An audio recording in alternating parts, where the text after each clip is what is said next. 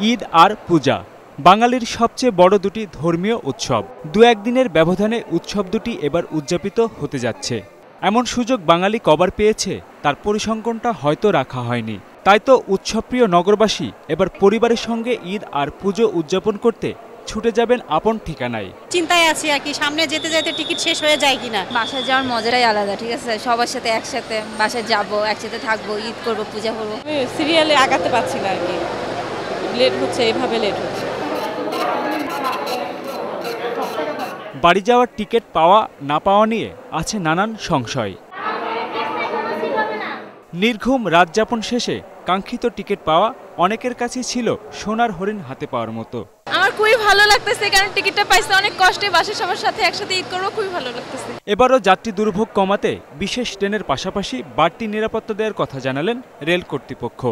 Check করে দেখে নেয়। যে কোনো ধরনের নিরাপত্তা সমস্যা আছে আছে কিনা। এবং সেটা কনফার্ম হয়ে আমরা ট্রেন চালাই এবং এবারেও আমরা সেভাবে আমাদের রেল লাইন ব্রিজ সব জায়গায় আমাদের নিরাপত্তামূলক ব্যবস্থা এভাবে রাখা হয়েছে, যাতে কোনো ধরনের দুর্ঘটনার মধ্যে আমাদের পড়তে না হয়।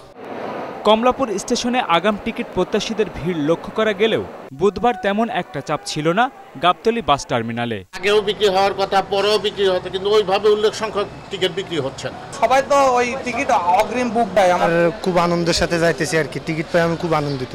দক্ষিণ দক্ষিণ পশ্চিমাঞ্চলের যাত্রীদের এবার টিকিট পেতে তেমন একটা বেগ পেতে হবে না বলে জানায় বাস মালিকেরা। জুলহাস কবির একুশে টেলিভিশন ঢাকা।